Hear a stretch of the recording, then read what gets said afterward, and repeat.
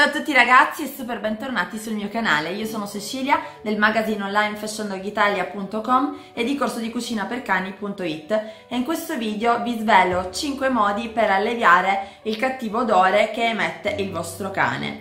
Il primo metodo è sicuramente lavare almeno una volta al mese il vostro animale non mettetegli profumi e robe particolari, usate semplicemente uno shampoo idoneo. Vi metto il link in descrizione dell'articolo in cui metto tutti i prodotti che potete utilizzare. Appunto, l'importante è usare un buon sapone, non prendete quelle cose al supermercato che dentro c'è eh, l'inferno perché farete solamente del male alla cute del vostro cane eh, che l'assorbirà e quindi inevitabilmente poi emanerà cattivo odore. La seconda cosa che potete fare è quella di lavare i denti al cane.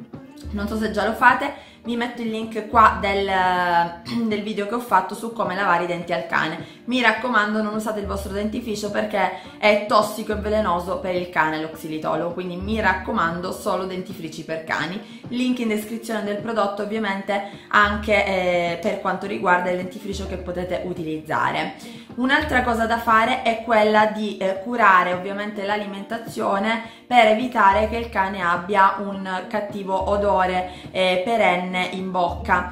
Quindi potete seguire appunto il corso di cucina per cani se vi va eh, o prendere le ricette gratuite che ci sono sempre sul corso di cucina per cani.it e, ehm, e poi per quanto riguarda i biscottini, ehm, io sconsiglio vivamente eh, quelli classici, classici mh, mm, Trixie, quelli che trovate al supermercato per l'alito, perché dentro c'è di tutto di più. Se volete, tranne che il vostro cane sia un cane molto molto resistente, allora possono anche andare bene, ma se avete un cane delicato come un maltese, un barboncino, un cane di media taglia, vi consiglio eh, di preparare dei biscotti alla menta. Trovate la ricetta sul corso di cucina per cani. Ti consiglio ancora di pulire le orecchie al cane, di spazzolarlo quotidianamente e poi ovviamente e poi anche di ehm, lavare sempre le coperte, la cuccia, insomma dove sta il cane così da mantenere un ambiente pulito. In questo modo alle allevierai sicuramente l'odore che è intenso che il cane può emettere. Evita di fare stare il cane fuori quando piove perché ovviamente quell'umidità